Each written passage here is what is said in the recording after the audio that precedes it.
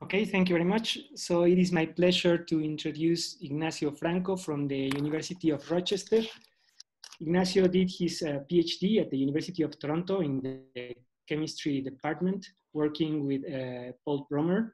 Then he uh, made a postdoc at the Northwestern University with George Schatz and Mark uh, Ratner.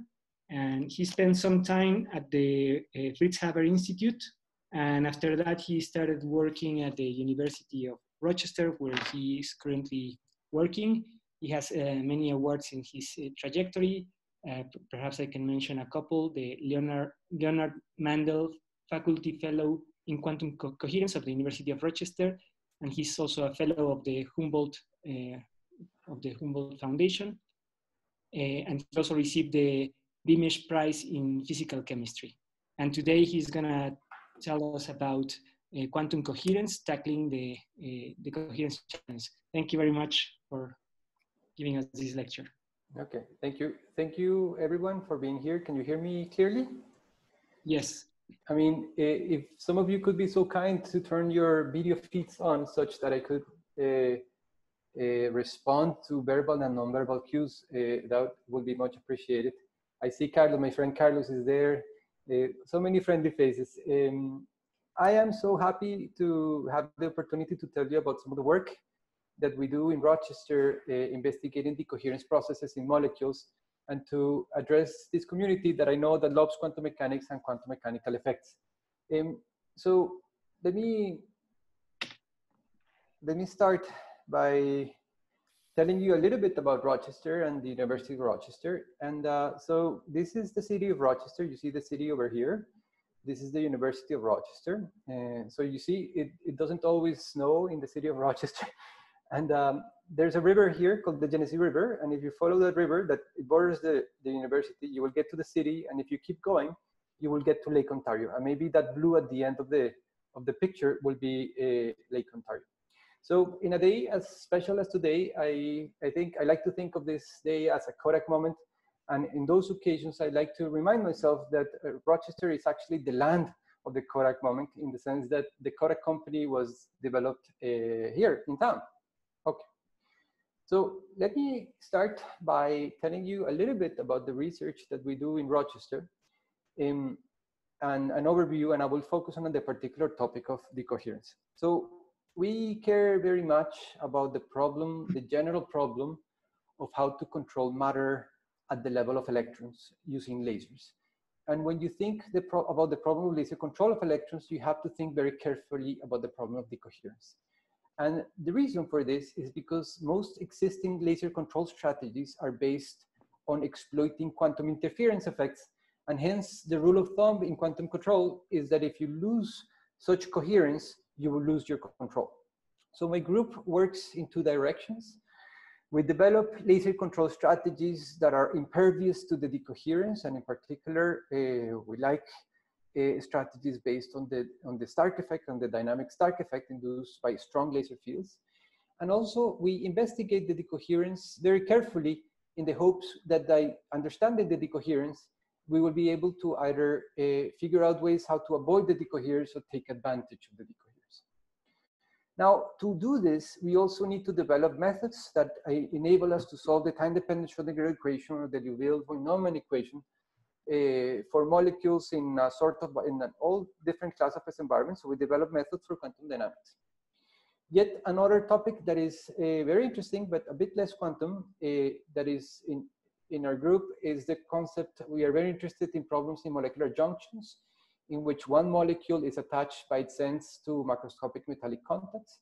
And the reason why we're interested in this is because in this setup, you can apply simultaneously voltages, forces, um, and light to a single molecule, and therefore you can develop uh, multi-dimensional spectroscopies that operate at the single molecule limit.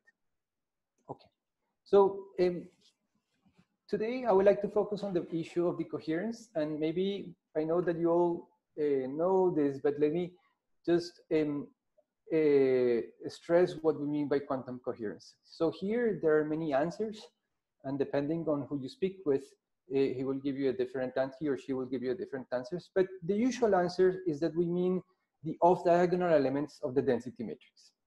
And there are really two important bases. There's the energy basis, in which if you have a quantum mechanical state that is a superposition of two eigenenergy states, if you construct the density matrix, you see that all the dynamics is in the off-diagonal elements. So these coherences in the energy basis leads to quantum dynamics. And the way that you measure these coherences is actually through time resolved spectroscopies, because these coherences lead to time-dependent polarizations that is uh, that you can capture in, in, in, in, in laser spectroscopies, in various laser spectroscopies. Now, another class of coherence is when you decide to express your density matrix in position-position representation.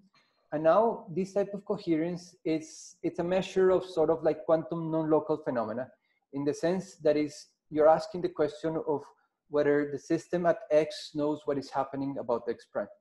And these coherences are manifest in interference experiments and also in quantum transport experiments.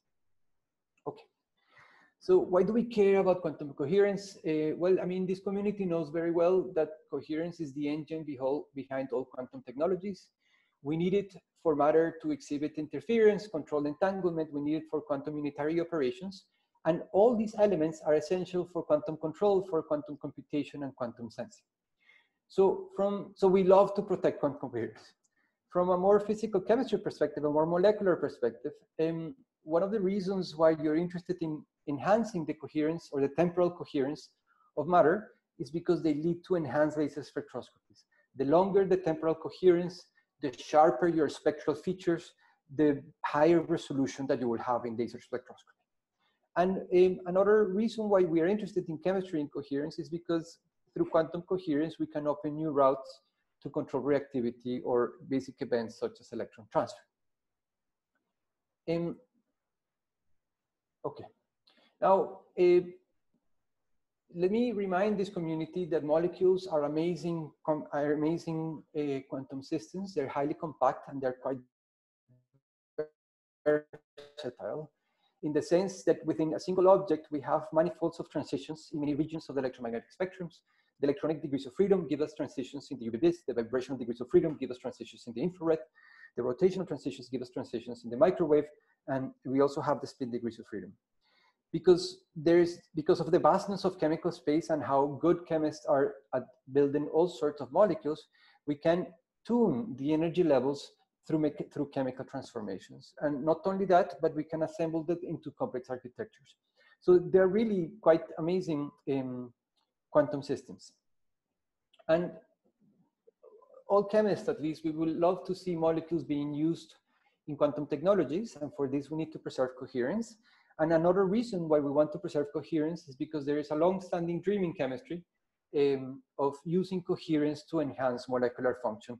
And these ideas have taken different reincarnations over the years. And these are two books and one recent review that explore that direction of research. Um, the issue of course, that we deal with is that the coherence processes that prevent molecules to exhibit, to fully exhibit its quantum mechanical features are extraordinarily fast. So this is a chart that I took from Nitzan's book in, on chemical dynamics in condensed phases that he took from the review by Wallens, in which they tabulate all sorts of molecular processes and the time scales of all sorts of molecular processes. And what you see is that electronic decoherence and vibrational decoherence are some of the fastest processes in molecules occurring in tens of femtoseconds for the electronic decoherence and maybe hundreds to thousands of femtoseconds for the vibrational decoherence. So they're very, very fast. And this has prevented the use of molecules in quantum technologies. Okay. So what do we mean by decoherence? Um, okay, so let me, such that we are all in the same page, what we mean by decoherence is the loss of quantum coherence due to entanglement of a system with its environment. So in the decoherence world, what we do is that we divide our quantum universe into a system part that are the degrees of freedom that we're interested in, a bath that we don't care very much about it. We only care about the influence of the bath on the system. And the point is that when the dynamics of system plus bath, the unitary dynamics of system plus bath leads to entanglement between system and bath degrees of freedom. So for example, if you start with a superposition between two states of the system, phi1 and phi2, these are states of the system, that are in tensor product of some state of the bath chi, upon unitary evolution of system plus bath, the system bath degrees of freedom gets entangled, you get a state that looks like this, that is already entangled. And now, if you construct the density matrix of your composite system, and you trace over the bath degrees of freedom because you don't care about them, at initial time, when there's no entanglement, you see that the state of your system is pure in the sense that there is a strong relation between the off-diagonal elements and the diagonal elements of this density matrix. If you want, the determinant of this matrix is, is zero. In, and upon time evolution, those off-diagonal elements get modulated by these bath states. And when these bath states are orthogonal, these off-diagonal elements go to zero, and you have lost your coherence and your system transition from a pure state to a mixed state. Okay. So Ignacio, yes, uh, there is a question about the time scales in the previous slide. Was that at room temperature or is it also very fast for cold molecules? Um, so temperature increases, generally uh, increases the rate of decoherence, but this electronic decoherence, uh, this time scale of the electronic decoherence e occurs even when you're at zero temperature, when you're in excited states. Okay more questions? I, I cannot keep track of the of the chat. I'll, I'll, I'll interrupt you if you don't mind every time there is a question. Yes, absolutely. Okay. Now, so give me an, to give you an example of of how decoherence occurs through entanglement and how it affects your ability to exhibit your quantum mechanical features. Uh, it's a simple example consider the double slit experiment. So we all know this experiment and love it, in, in which we have quantum particles that are impinged on a double slit, and we create a superposition, say, of particle going through the upper slit and a particle going through the lower slit. Then we find, we figure out what is the probability density of detecting the particle along a screen, along a particular coordinate. And what we realize is that the probability density has three components, has two direct terms, that arise because of a particle going through one specific slit at a given position in the detection screen, X. Uh, this is the other direct term arising from the other contribution, and then an interference. And the direct terms are always positive, but these interference contributions can be positive or negative, and this leads to the interference fringes that are characteristic of this double slit experiment. Okay. So now what we do is that we, we propose a Gedanke experiment, a thought experiment, in which we now include a bath. And my bath will be some, for example, some oscillator that when the particle goes through the second slit, it excites that oscillator. And that bath has two states, zero if it's not excited and one if it's excited. So now when the particle passes through slit two, it excites the oscillator and therefore the state of the particle after passing through the slits will be a superposition of this form in which if it passed through slit one, it didn't excite the oscillator, while if it passed through slit two, it did excite the oscillator. And now this is an entangled system bath state. Now, if I calculate the probability distribution of, of the interference pattern, what I find is that the direct terms get unaffected by this entanglement, but that the interference is modulated by this overlap between the bath states. So when these bath states are orthogonal, that is when your entanglement is perfect, then you will lose that interference contribution in your double slit experiment. Okay, so you, because of the coherence, you lose your ability to interfere.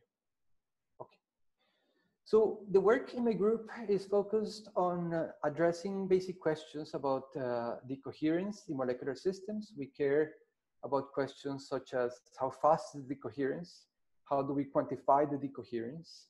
what are the basic mechanisms behind coherence loss, how to model it, and how to overcome it. And what I would like to tell you about today is the work of two very talented um, um, members of my group, uh, Gu, who is now at the University of California at Irvine, and Wenshen Hu, who is finishing his PhD, and it looks that he's moving to, he's going to work for Amazon.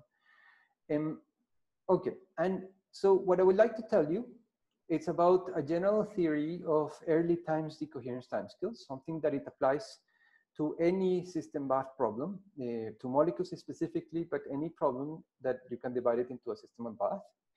And the use of that theory to uh, develop a generalized theory of electronic decoherence.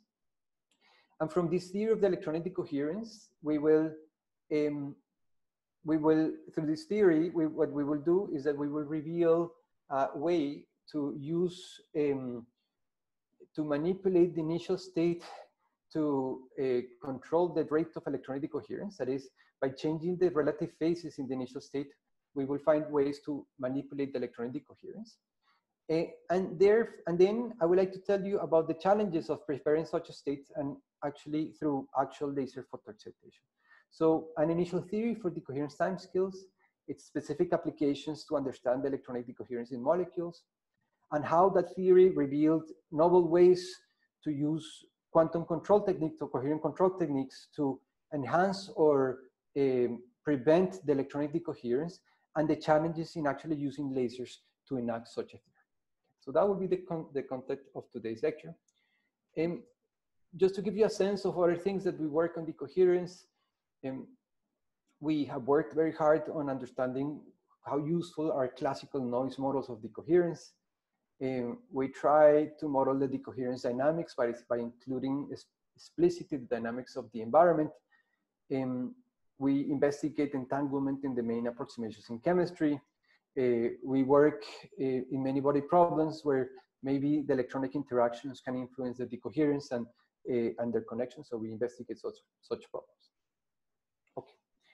Now, this talk will also be about discussing a surprising and rather dramatic artifact that is introduced by initial separable states. So um, when you're doing open quantum system dynamics, many of you do open quantum system dynamics, it is customary to start with an initial separable state where this is the, this rho v is the density matrix of the environment and this sigma will be the density matrix of the system. And we need this, this is useful because it allows us to establish dynamical maps in open quantum systems and in particular the Kraus operator sum representation that um, connects the density matrix at initial time with the density matrix at time t of the system. Uh, so this initially factorizable state is a useful idealization in this context, but it, and it's a reasonable approximation. So what I'm going to show you is that um, in practice, this state is an exotic state. And in the context of laser control, this uh, rather innocuous looking separable initial state will lead to a qualitatively wrong quantum control, laser control. And I will tell you then how to restore the control once you understand this. Okay, so the first question that I would like to address is um, how to quantify decoherence and how to define a decoherence timescale. And this is the work of Dr. Bing Gu, who is pictured right in the middle of uh, this picture of the group, which is already about two years old. Um, okay, so when I want to quantify decoherence, I like to use this quantity called the purity. And the main idea is as follows. Consider that you have a general entangled system bath state. So this Vn will be states of the system, and these um, will be states of the bath. And these will represent a general entangled state between system and bath. You can construct the density matrix of the system by constructing the density matrix of the composite system and then tracing out the environment uh, to give you the density matrix of the system of interest. And you, you now see that the off-diagonal elements of the density matrix are modulated between these, these, these bath states, between, by the overlap of these bath states. And the point is that if your system is pure, your density matrix, you will be able to express your system as a, as a, as a, wave function. And that means that your density matrix will be idempotent. That means that rho squared is equal to rho. And then the purity, which is obtained by taking the square of the density matrix of the system and then tracing, will be trace of rho square, which will be equal, to trace of rho, which will be equal to one. So for a pure state, the purity is one. And once you have a mixed state, once you have a decay of the overlap between these environmental states, uh, the density matrix will no longer be idempotent and the purity will be less than one. So this is a very simple um, basis independent measure of decoherence and it's basis independent because it's based on the on a trace quantity and the traces are independent of the basis. Okay. The reason why purity is not, at least in, in the within the physical chemistry community, is not used often to quantify decoherence, even when it's a very clear measure of decoherence, is because it's a very difficult quantity to calculate and it's a very difficult quantity to experimentally isolate. And the reason for this is because when you have a general many-body problem, if you want to calculate purity, you either need the density matrix of your many-body system, which is generally inaccessible, or you will or you will need the overlaps between the environmental states, which are the environment can be a, a high dimensional system and this is generally inaccessible. So both from a computational perspective and from an experimental perspective, the purity, even when a very clear measure of decoherence, is computationally and experimentally removed. Okay, wouldn't it be great if we could access to the dynamics of purity without reconstructed the density matrix for the full many-body density, uh, without reconstructed the, the, the, density matrix for the full many-body problem. So um, this would be tremendous. And I'll tell you about one possible strategy in this direction that might be yours. So our focus, uh, what I will show you is that I will introduce a simple but general, a general but simple relation between the dynamics of purity at early times, for short times, and the fluctuations of the operators that entered into the system bath coupling. So generally, I'm thinking about systems in which you have a system part, a bath part, and a system bath coupling. And what I will show you is that the short time purity dynamics is determined by the fluctuations of the operators that enter into the system bath coupling. It is valid for any system bath Hamiltonian with an initially pure system there is no need to reconstruct the density matrix.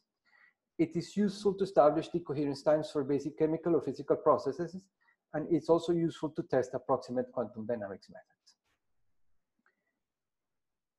Okay, so let me, let me show you what we do. So we start with a Hamiltonian that has a system part, a bath part, and a system bath coupling. We start from the Liouville-von equation for system plus bath, and we suppose that that dynamics is unitary we do a short time expansion. That means that we expand the density matrix of the composite system up to second order in time. So uh, this is the first order expansion, that's the second order expansion. And we heavy-handedly neglect all terms that are higher order than the second order. We trace over the bath to get the same expansion, but for the density matrix of the system. And then we assume that we have an initially pure system. So that is, we suppose that the density matrix of the composite system is separable. The bath could have any possible density matrix, thermal or whatever, while the system will have to be a pure, will be, have to be in a pure state.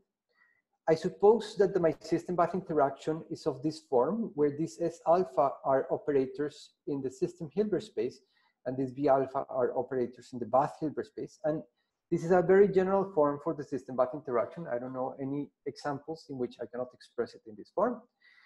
And then you take the square of the density matrix, you calculate purity, you sit there with a giant cup of coffee, and you enjoy the massive cancellation of terms. And what you get is something very, very beautiful, very, very general. What you find is that for early times, the purity, which is our quantifier of decoherence, decays like a Gaussian. And if you want, this is a manifestation of the quantum Zeno effect. So the fact that you don't have a linear component means that the bath is preventing your evolution uh, at early times. So you, the first order component will be to second order. And there's a time scale associated with that decay. And you can associate that time scale with a decoherence time scale. And how that time scale looks like is of this form, where this, this is a sum, this sum is so this is the system bath coupling. So this sum is over the system and bath operators that enter into the system bath coupling. This is for the bath, this is for the system.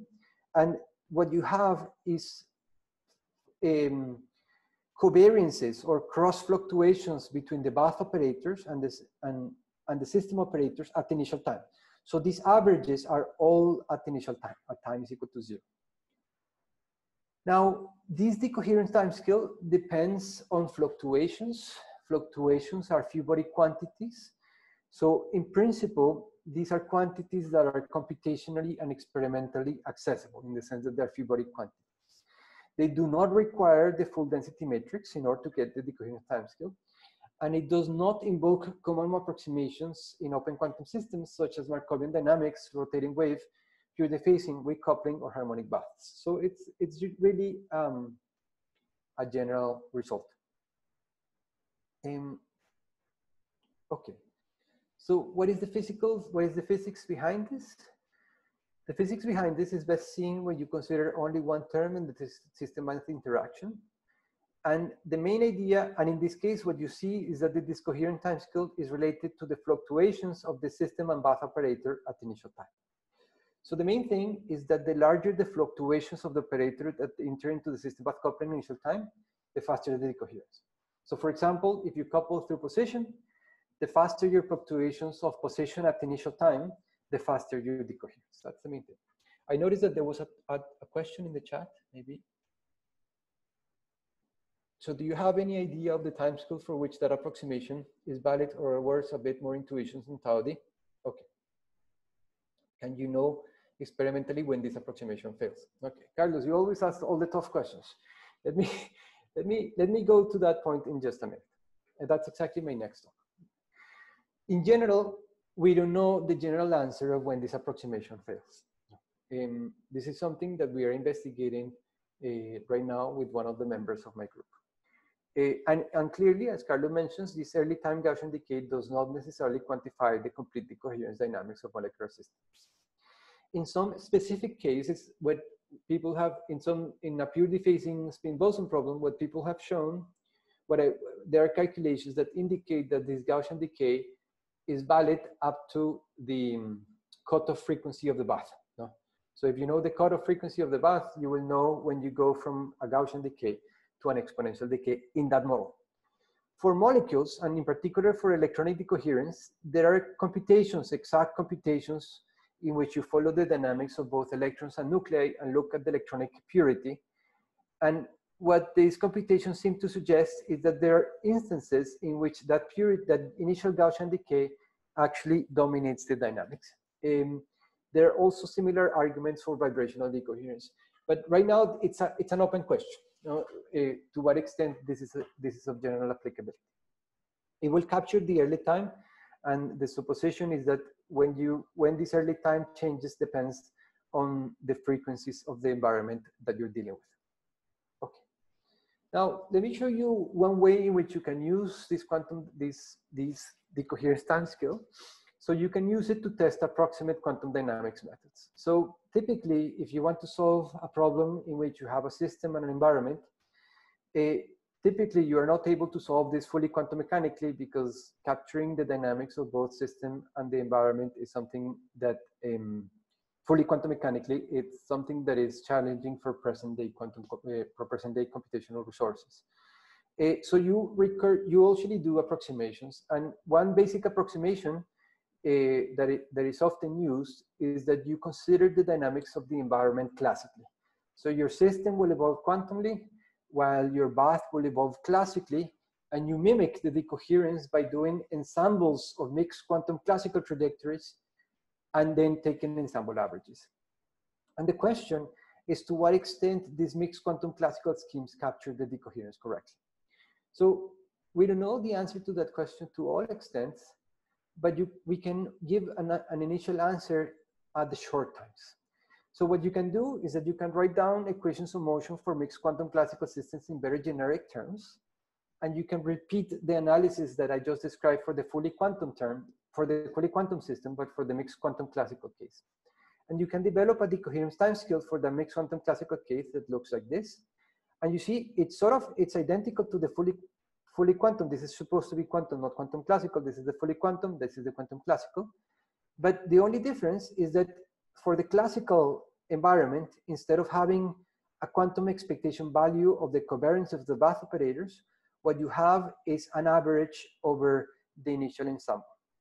And the main thing is that if your, uh, if your initial ensemble of classical initial conditions can mimic the relevant quantum fluctuations, then your mixed quantum classical analysis will get the decoherence correctly.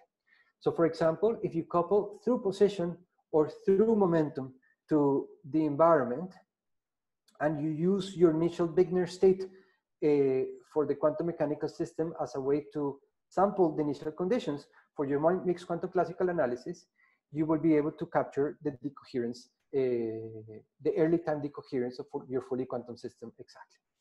So for example, these were computations that were done by Wensheng Hu, in which he shows purity as a function of time and the in the early times, and the exact one would be the black one, and the other ones are all mixed quantum classical approximations, and you see that they are excellent approximations to the full quantum dynamics for early times. For longer times, they are not so very good, not very good approximations, but for early times, they are.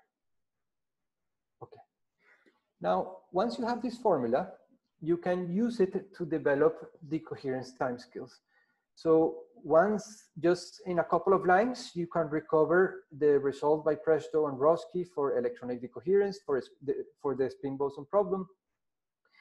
You can recover just in a couple of lines the result by Kim and Borges developing decoherence timescales for the Caldeira-Leggett model.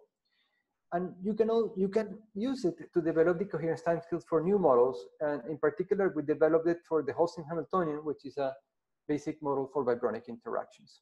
And you can do this without doing dynamics or finding the many body state. Now, what I would like to focus on is how we use that theory of electronic decoherence to, that theory of uh, decoherence timescales to develop a generalized theory of electronic decoherence in molecules and the consequences of doing that generalization. So the system in this case will be the electrons in molecules, while our bath will be the nuclear degrees of freedom. And it's the electron-nuclear interactions what leads to electron-nuclear entanglement and to electronic coherence. Out of all the nuclear degrees of freedom in, um, in molecular systems, vibrations, torsions, and solvent, the most important ones by far are the vibrational degrees of freedom, since they're the most, they're the ones that are strongly coupled and they're the ones that are fastest the reason why we're interested in electronic coherence is because um, we want to protect the coherence pro properties of electrons for quantum technologies, and in particular, in our case, in our, the case for group for laser control of electrons, but also because it's a basic feature of correlated electronuclear states. It's central to understanding vital processes such as photosynthesis, emission, and electron transfer. And uh, this is uh, this, this reason is something that is very important in theoretical chemistry it's, in, it's, the, it's important to develop approximate schemes to, to follow the electron vibrational evolution of molecules. Okay, so let me translate these ideas of decoherence through entanglement in the context of molecules or molecular systems. So this is energy. Here are nuclear coordinates. These are many dimensional systems. This may be a potentially surface, say for the ground electronic state. This may be a potentially surface for a first excited electronic state. This may be the potentially surface for a, a second excited electronic state. Now, you can start with a vibrational wave packet, a nuclear wave packet in a given uh, electronic, uh, associated with a given electronic state. And you can come in with a very short laser pulse. And what that laser pulse is that it creates an exact replica of this nuclear wave packet in the excited state potentially surface. And by doing that, you're creating a state that sort of looks like this, in which you're creating a superposition between the ground state and the first excited electronic state with the same nuclear wave packet in both states. So it's a state that is un approximately unentangled. And then upon time evolution, this wave packet will move in that high dimension potentially surface, uh, and then it will lead to entanglement between electrons and nuclear. You will get states that look like this if you, if you trace out the nuclear degrees of freedom because you don't care about them and you just focus on the electronic density matrix, for this initial state, what you find is that your initial density matrix is pure in the sense that these off-diagonal elements uh, have a strong relation with the diagonal elements of the density matrix. But upon time evolution, these electronic coherences um, get modulated by these bath states, by these nuclear bath states, by these nuclear overlaps. So if these nuclear overlaps decay, then you lose your electronic coherence. So the basic idea in understanding electronic coherence in molecules is that it arises because of nuclear wave packet overlap, because of the decay of nuclear wave packet overlap due to the dynamics of nuclear wave packets in alternative electronic potential surfaces. And these are ideas that have been in the chemistry literature for around 25 years or so. Okay. So now to proceed, I need to introduce the Hamiltonian for a two surface molecular Hamiltonian. So molecules have many electronic surfaces. I'm going to consider only two of them, the ground state and the first excited state. Each one of them will have a given potentially surface, Vg and Ve. And the nuclear Hamilton, sorry, the electronuclear Hamiltonian sort of looks like this. This is the ground electronic state, and this is the nuclear Hamiltonian associated with that ground electronic state. This is the first excited electronic state, and this is the nuclear Hamiltonian associated with that first electronic excited state. And these are what are called diabatic electronuclear couplings. So these, these couplings here, what they do is that the nuclear dynamics induces transitions between the ground and the excited electronic state. This is what they do. While these, these, these terms here, what they do is just dynamics of the nuclear wire packet in a given potential surface. Now, you can massage these terms and a little bit, and you can extract an identity in the electronic subspace. And now you can express this component in terms of an energy gap operator, where this is the difference of the nuclear Hamiltonian in the excited state and in the ground state. And now you can see that this is a type of interaction that of the ones that we need to apply that theory of decoherence timescales, because this is a system operator and that's a bath operator, and this is a system operator and that's a bath operator. This term here does not lead to transitions between the electronic states. So this is what is called a pure dephasing component. While these other terms, uh, they lead to electronic transitions, and this will ultimately lead to electronic relaxation um, through the electronuclear interaction. So this is the pure dephasing, and this is the non-pure dephasing. And each of these terms would lead to a different contribution to the timescales of electron decoherence. So you start with a superposition of electronic superposition between the ground state and the first excited state in terms of product with some nuclear uh, wave function. You apply that theory of electronic decoherence, and what you find are three components. One, um, due to the fluctuations of the energy gap, this is what we call the pure dephasing component that arises because of that term in the system bath interaction that does not lead to electronic transitions. Then there's a second term that arises because of the fluctuations of the diabatic couplings that lead to electronic transitions. And then there is the interference. And if you want, if you're familiar with Bloch models, this pure dephasing component will be like a T2. These ones that arises because of transitions will be like a T1. And what this theory shows is that these two processes are not independent, but they can actually interfere and there's a cross coupling between them, which is this interference. Now, um, how accurate is the theory? So we contrasted the predictions of the theory of decoherence timescale, uh, which are shown in with the dashed lines, with a uh, numerically exact simulations in the context of a displaced harmonic oscillator at different temperatures. These are actually high temperatures, um, and which are shown by the solid lines. And what you see is that the theory of decoherence timescales get the initial Gaussian decay quite accurately, but the actual full quantum dynamics, we get a partial recurrence in the purity. So you see it decays like a Gaussian and then you get a recurrence.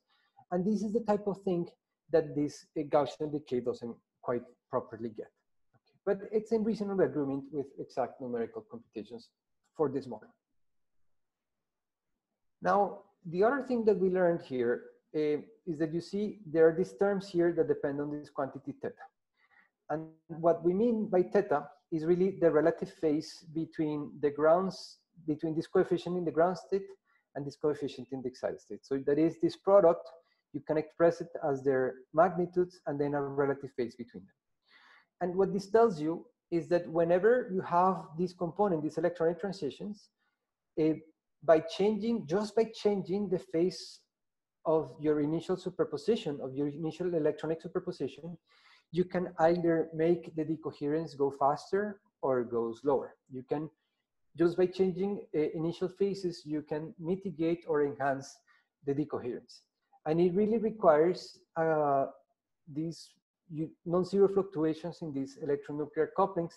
And molecular terms for those of you that are familiar with molecular Hamiltonians, what you require is something that is called a conical intersection. So we were very intrigued by this because essentially until then, this meant that we could use coherent control techniques to manipulate electronic decoherence. And this was something that I thought it was previously impossible. Uh, but when you had these two components, both the pure dephasing and the electronic transitions, the interference and the contributions of the electronic transitions open these opportunities.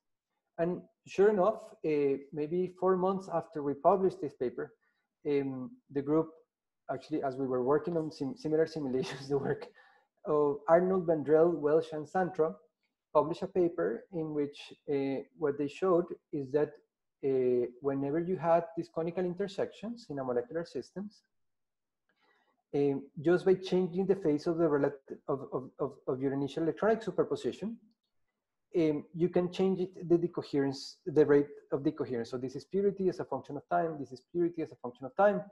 And you see that just the, the dynamics for purity, for a relative phase of pi halves or a relative phase of zero is completely different you know, in the presence of these conical intersections. So um, that was great. But now the challenge um, was how to actually construct such states. So if you're able to construct these states in which you're in a superposition between the ground electronic state, the first excited electronic state in tensor product with some nuclear state, and you can control this phase, then you will be able to um, you will be able to control the rate of electronic decoherence. Okay, so with when um, we started to think about how we could we use, how could we generate such states through actual laser photoexcitation, because this is the main method that we have to prepare quantum mechanical states in, molecular systems. Okay, so our idea was very, very simple. We started with uh, initially separable state for the ground state, where this is the ground electronic state, and this is the nuclear wave packet associated with the ground electronic state. So something like this. And we come in the, laser, the later, the, la the latest advances in, in, in, in, in, in, in laser, in, in the development laser sources allow you to create pulses with just a few cycles. So it will be like a short envelope, uh, a cosine of omega t, and you can control this phase, this absolute phase that is called the carrier envelope phase. So the main idea is that these laser pulse can induce impulsive photoexcitation in the sense that it can create this wave packet and it's so fast that effectively what it does is that I create an exact replica of that wave packet in the excited state potential surface. And in the process of photoexcitation, what happens is that you pick a phase from the laser field. And you can see this from first order perturbation theory. And it, so that means that the relative phase between the ground state and the first excited state, we can manipulate by varying the carrier envelope phase of the incident laser field. Okay, so this is what we did. Um, and what Wen showed in, this is a model for photoisomerization. This is my ground state in blue. This, the, the green one will be the excited state, is that if you do that process, and these are numerically exact computations, and you follow the purity, and you vary that carrier envelope phase of the laser pulse, basically just by changing the carrier envelope phase, you can change the rate of the coherence of coherence loss. Okay, So this meant that there was a possibility of using uh, coherent control techniques to control uh, electronic coherence. We were very excited about this. Now, then we did a very, very small change, a minute change. Instead of using, so we were using a separable electronuclear state. This is an electronic system. This is the nuclear component. We were using a separable electronuclear state. And then we did a very, very small change, which instead of using this model separable state, we use the true ground state for this problem. And I'm saying that it's a small change in the sense that the separable state is an excellent approximation to the true ground state with a fidelity of 0.9942, no? so 99.4% accurate. Okay, and we repeated this process of doing the laser photoexcitation. And what we observe is that now in that case, this is the purity as a function of time. Uh, and we change the relative phase and basically all laser control goes away. Yeah? Uh, the relative phase has no influence on the laser uh, dynamics, in the laser induced dynamics.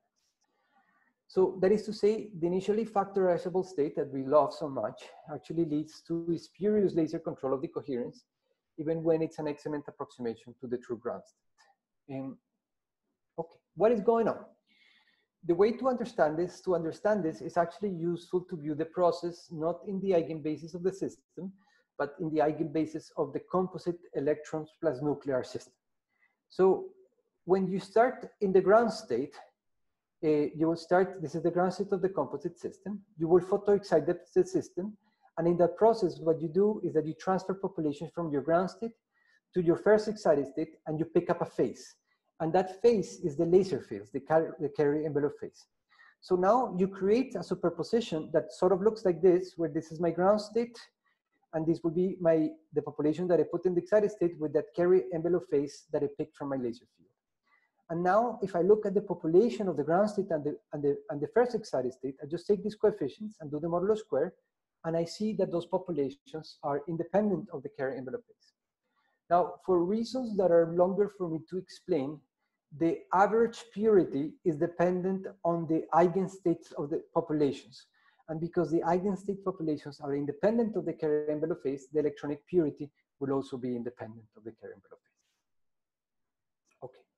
Now, if instead of using a separable state, if instead of using an eigenstate of the composite system, I start with a separable state, when I express it in the eigenbasis of the composite system, that separable state is not stationary, and that means that it will be a, a superposition of eigenstates of the composite system, something like that looks like this. Uh, superposition, say, of the ground state and the first excited state. I photoexcite, and in that process, I, I go from E0 to E1, and I pick up a phase, and this is this is this component. Um, sorry, that is this component here, and I go from the first excited state to the ground state, and I pick up a phase with the opposite sign, and this is this component here. And now if I look at the eigenstate populations, that if I take these amplitudes and take the modulo square, now I see that the eigenstate populations are dependent on the carrier envelope phase. And because this electronic purity depends on these eigenstate populations, the electronic purity will depend on the carrier envelope. Okay. Now, um, now for those of you that are quantum control aficionados, um, you may be asking whether this is no one photon coherent control.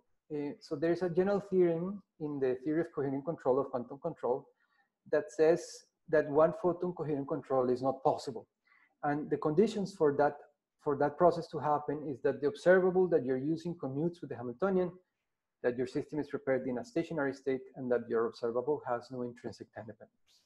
So I just want to say that the conditions that we are observing are beyond the applicability of the theorem because our observable is the electronic density matrix. This is what we calculate when you're calculating purity. And the density matrix does not commute with the Hamiltonian and further it has an intrinsic time dependence. So it's something else. Now, eh, at this point, we were wondering whether coherent control of electronegative coherence is still possible. So it is possible, and the way that we did this is by um, using a two-pulse scheme in which a first few cycle laser pulse creates a superposition, say, between the ground state and the first excited state. While a second pulse, the pulse superposition that we need, the second pulse generates the interference that required to control the electronic purity. And this is in fact what Wen showed. This is the purity as a function of time for these two pulse excitations, and these are for different separations. So for example, this one is for 143 femtoseconds. This is my first photo excitation. There's no dependence on purity on the phases. And then I come in with a second laser pulse that interferes with the superposition that I generated. And now I see a purity dynamics that depends very strongly on the carrier envelope phase that I use. No? And uh, this is when the separation is zero. This is the perturbation is four, 143, 223 femtoseconds. And eventually, uh, this will no longer work up to a certain time. Okay. So let me conclude. Uh, I introduced a general and simple relation for early time decoherence timescales. What this relation shows is that the purity decays like a Gaussian and that the rate of decay is determined by the initial quantum fluctuations of the operators that couple the system on Bath it captures, this relation captures the early time decoherence dynamics without reconstructing the system many-body density matrix. And it's a universal result in the sense that it doesn't require the usual approximations in quantum systems, such as Markovian dynamics, harmonic environments, and so on and so forth. weak, weak system bath coupling, and so on and so forth. It is useful to test approximate quantum dynamics methods. And in particular, I showed you that for early times, mixed quantum classical approaches reproduce the early time decoherence exactly when the classical distribution of initial conditions mimic the quantum fluctuations. We, this theory is useful to develop decoherence timescales, and in particular, I showed you how could we use this theory to develop a generalized theory of electronic decoherence. And this theory captures the contributions due to pure dephasing dynamics, relaxation, and also the interference to purity decay. And what was very interesting about this theory is that it revealed a novel route to use coherent control techniques um, to influence electronic decoherence when both pure dephasing and electronic transitions are simultaneously at play. Now, such control requires creating superposition states of this form, which are a tensor product between the environmental states and the system states, and the system states being in a superposition with well-defined phases. And what I argued is that um, these initially, I mean, I showed you that you could create that if you started with a separable state, you could use few cycle laser pulses to create such superpositions, but that actually the control um, that we observed was a spurious consequence of the fact that um, the initial state was initially separable. Um, so this is an artifact introduced by initially separable states, even when they're excellent approximations to the stationary state with fidelities above 99%. And in understanding that process, we actually developed a two-pulse coherent control scheme that allows controlling the electronic purity through laser pulses. Okay, and with that, um, I thank you all for your attention. I'll be happy to receive questions. And let me finish this by bringing you um, maybe, where is this, 20 years ago. Uh, Carlos, I think you will be excited to look at this picture. So this is in Rio Grande. We're on top of the Rio Grande, somewhere in New Mexico, in the summer of 2002. And you may recognize some of the people in this picture. This is me when I was very young. This is Carlos when he had lots of hair. No, uh, this is Gerardo Chowell, another Mexican um, who is now at Georgia State, a very, very accomplished person. Uh, yeah, so thank you so much for the invitation and I'll be happy to take questions. Thank you very much for the great talk. It was very interesting. So uh, we have time for questions. There is always a little bit of a delay before people start posting questions. So let's. Yes, I'm gonna open the mics uh, of ah, sure. everybody. Yeah. So in the so, meantime, let, let me start with a question then. Okay, go. Uh, uh, you started with uh, motivation showing the double slit uh, experiment of an atom that goes through the slit and you, you try to see the interference. And you can repeat this experiment with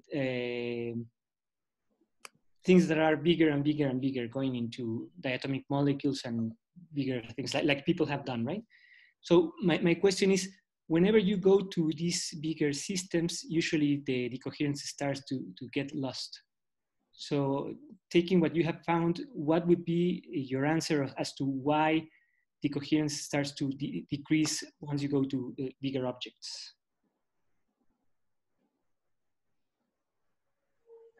So the magnitude of the interference decreases uh, as you go to bigger objects but this is not necessarily related to the coherence, but is related to the fact that the, de Broglie wavelength of bigger objects is increasingly small. And then the visibility of the interferences um, is related to the de Broglie wavelength. So if you keep your apparatus intact, but you decrease your de Broglie wavelength, uh, the features in your interference experiments become closer and closer and closer and closer together and there will be a point in which just a little bit of jittering of your experimental apparatus will wash out that decoherence correctly. So that actually is a great, when you study problems of quantum classical correspondence, um, that is a great example to always think that the transition from quantum mechanics to classical mechanics, it's uh, going to larger masses, no, smaller de Broglie wavelengths, and just a tiny little bit of noise. So it has nothing to do with uh, internal vibrations or rotations of the molecule that introduce more levels and then de decrease the visibility. Not necessarily so. There, there, it has to do with the de Broglie wavelength. There are also experiments in which they, um, they, they excite internal degrees of freedom. And now you can create these entangled states between the wave packet that interferes with, that impinges in the, in, in the double slit and then interferes with internal degrees of freedom. And then in principle, if you look, there are experiments in which you look at what is happening at internal degrees of freedom. If that tells you something about which path the particle is, telling, is going through, then you will destroy the decoherence. No? Um, there are also examples, for example, of experiments in which they heat up fullerenes and they see um, that the heating up of the fullerenes decreases uh, your interference, but this is more because you are introducing noise, no? You're, you're introducing more and more noise. Okay, thank you very much. Yes. More questions? Okay. Uh, thank you so much, uh, Ignacio, for, for the talk and for accepting our invitation. I'm gonna post my email because I see that we have students and people from outside the division. I'm gonna uh, put my email address in case you wanna have information from for our next seminar and I'm gonna open the mics. So if you want to make ask a question directly. So everybody's on mute so you can interact if you want. And, and English or Spanish is, español o inglés está bien. English or Spanish is fine. So, questions, guys? Perdón, pero una pregunta para, para Gina. Con el correo que nos, que nos acaba de publicar, ¿le escribimos nosotros para poder recibir información de los siguientes seminarios? Claro, sí, sí, sí, mándame un correo para ya, para tenerte en la lista, ¿sale? Nada más mándame tu nombre completo, adscripción y si eres estudiante y ya con eso. Claro, muchas gracias. De nada. Carlos, conversa un poco. Bueno, vamos a preguntarle algo a Nacho. No sé si ahí, ahí me escucha Ignacio. Sí, aquí estamos, aquí estamos. Venga, usted se enfocó mucho en, en, en una sola partícula, ¿no? En un solo electrón pues obviamente es, es, un punto pues, eh, importante. ¿Qué pasa cuando o sea, están pensando en ir a, a más partículas o, o, realmente el interés por algún motivo en química es de un solo electrón? No, el, el, aquí no estaba enfocado en un solo electrón, sino en sistemas de muchos cuerpos compuestos electrónicamente. Eso nunca, eso nunca está enfocado en un solo electrón. No lo estoy oyendo, Carlos. No estoy oyendo. Carlos. Tiene que quitarse el mute. Sí, ya todos están en mute. Eh, bueno, total, esos, esos resultados no son para un sistema de un solo electrón, sino para sistemas de muchos electrones. Cuando uno pasa de muchos electrones, let me, go, let me switch to English because uh, so the results are not based on um, single, uh, single particles, but on many body systems. No? So these are the core of the results. When you go from many body systems to single particle, to single, single electron systems, that is when you're not only tracing the, um, the nuclear degrees of freedom, but you're also tracing n minus one electronic coordinates, they're a, different source of apparent electronic uh, the coherence that arises because of, uh, of the entanglement of the electrons with the other electrons that arises because of electronic correlations. So at that point, when you focus on single particle quantities, it is very challenging to distinguish effects that come from the coherence due to interaction with the nuclear degrees of freedom to um, other sources of apparent decoherence that arises because of electronic correlations.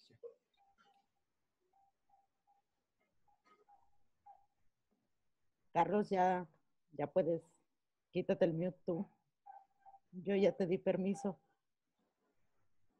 Ah, ya, perdón, es que no sé por qué a veces que funciona el mute y listo, va, está bien, muchas gracias. Y muy padre la, la charla y, bueno, rico, rico escucharlo después de tantos, tantos años. De tantos años. Carlos y yo somos amigos desde que estamos en la en colegio, yo creo. Sí, era lo que me estaba contando, que, que desde los 18. Más o menos, sí. A ver, ¿alguien más que quiera hacer alguna otra pregunta? Levante la mano si es que no puede desconectarse. Yo, Gina. Ah, ok. ¿Dónde? ya, sí, te escuchamos. Dale. Ah, yo creo que perdí alguna parte en la plática porque me, me, es difícil entender cómo se relaciona el concepto clásico del medio ambiente, en el sentido de que uh, la decoherencia viene como consecuencia de la resonancia que hay entre las frecuencias propias del baño y un ancho de banda alrededor con el sistema que uno estudia. Sin embargo, el concepto de clásico tiene por otro lado. Uh, por ejemplo, eh, en el sentido estándar, cuando uno quiere deducir las ecuaciones del Inland, uno incluso puede tomar un baño eh, en temperatura cero, que eso para nada es clásico. Sí, ¿Cómo logran hacer esta, que esta aproximación funcione? O si necesariamente, en este caso estándar, tendría que ser algo a temperatura alta para que jale. Bueno, ok. A ver, creo que el, lo que pasa es que la dinámica, o sea, hay dos cosas, José Luis. Hay, hay dos partes de tu pregunta. Sí. Eh, la dinámica clásica, la dinámica cuántica, eso se ve bien claro desde la teoría de Wigner, eh, desde la formulación de Wigner de mecánica cuántica. La dinámica cuántica es dinámica clásica más correcciones cuánticas, ¿cierto? Entonces, si yo tengo un estado inicial que, me, que se asemeja, clásico que, hace, que, me, que se asemeja al estado cuántico, y trunco todas las correcciones cuánticas en la dinámica, solamente incorporo las correcciones, la parte clásica, lo que va a pasar es que mi dinámica clásica te va a capturar la decoherencia cuántica por tiempos cortos, ¿no? Después, esa dinámica va a fallar y después de tiempos cortos ya no te va a funcionar, ¿no? razón, porque yo estoy, estoy, estoy, eh, estoy em, haciendo trampa, ¿cierto? Generando de coherencia aparente creando un ensamble de trayectorias clásico cuánticas. Bueno, de ahí hay otra parte de tu pregunta, que es más, es aún más profunda. La primera ya era muy profunda. La, otra parte de tu pregunta es esta. Listo. Entendemos que la decoherencia ocurre por entrelazamiento entre sistema y baño. ¿sí? Y ahora, ¿por qué es que yo puedo entender la decoherencia o por qué muchas veces entiendo la decoherencia ocurriendo por un baño que introduce ruido, ¿no? Que es total, es decir, ¿por qué lo puedo entender como, como ruido clásico? Bueno, entonces resulta que em, en general esas dos cosas no son idénticas, ¿no? Pero cuando, pero uno puede crear ruidos que asemejen el comportamiento cuántico. Entonces, por ejemplo, cuando uno está interesado solamente en pure defacing, eh, y tienes modelos sencillos para la interacción radiación-baño, la interacción sistema-baño. Ese tipo de, de, de, coherencia se puede, se puede capturar por eh, ruido que, que, tenga, que esté exponencialmente correlacionado, ¿no? Color noise, ruido coloreado, ¿no? Lo que no pueden hacer los baños clásicos, definitivamente, es que en los baños cuánticos tú tienes eh, eh, decaimiento debido a em, fluctuaciones espontáneas, ¿no? Por ejemplo, emitiendo fotones o emitiendo fonones, y eso nunca lo puedes capturar con un baño cuántico. Con un baño clásico. Si lo, necesitas un baño, un baño cuántico. Sí, muy bien, gracias. ¿Alguien más? ¿Alguna otra pregunta? ¿Algún saludo? ¿Algo, muchachos? ¿Nadie? ¿Anybody? Bueno, yo tendría una pregunta más. Dale. Eh, ah, en el sentido de si dentro de los, los esquemas químicos que, que, manejan, ¿no están interesados también en la rotación de las moléculas? Em, ¿No es como punto importante dentro de, no, no sé, de los temas estándar que, que trabajas? La rotación de moléculas, sí, es un tema interesante y hay muchos esquemas de control para rotación de moléculas. ¿no? Eh, casi todos de ellos se, basan en tener una molécula que tenga un dipolo neto, usar un pulso muy intenso, de manera tal que alinea la molécula con, con, con el, campo eléctrico. Y después uno apaga ese pulso de una y crea una superposición de estados rotacionales que puede controlar. o sea, esos también son técnicas que están muy bien desarrolladas. En, en mi grupo no trabajamos, no trabajamos ese tópico porque estamos más enfocados en control de electrones. Ese es más el enfoque del, del grupo Rochester. Oh, de acuerdo, gracias. Pero conocemos bien la literatura. Ok, ¿alguien más? ¿Nadie? Bueno, muchísimas gracias a todos. Me encantó poder hablar con esta comunidad. Eh, me encantó eh, comunicarme con mis eh, amigos mexicanos, ¿cierto? Siempre los consideramos tan cercanos.